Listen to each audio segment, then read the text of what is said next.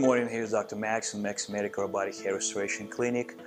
And uh, today we have another um, robotic procedure uh, utilizing the most recent uh, uh ARTAS IX system. And our patient today is 68 years old male who had a previous successful ARTAS procedure and decided to add some more density to the front of the head. A common question is, uh, do I require more than one procedure? And in certain situations, it is a good option. It will allow us to concentrate on one area, for example, like with uh, our patient today on the crown area that was completely restored.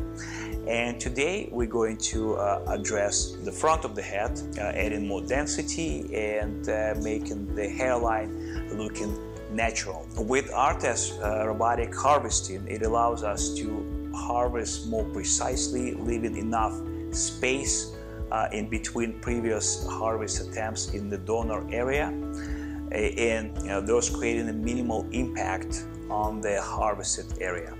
We did have uh, multiple uh, instances where we, we, were able to harvest uh, over four times uh, with uh, uh, leaving same minimal um, impact of the donor area and without a linear scar, of course. If you have any questions, please don't hesitate to contact us at 954-945-2909 uh, or visit our website bringbackhair.com.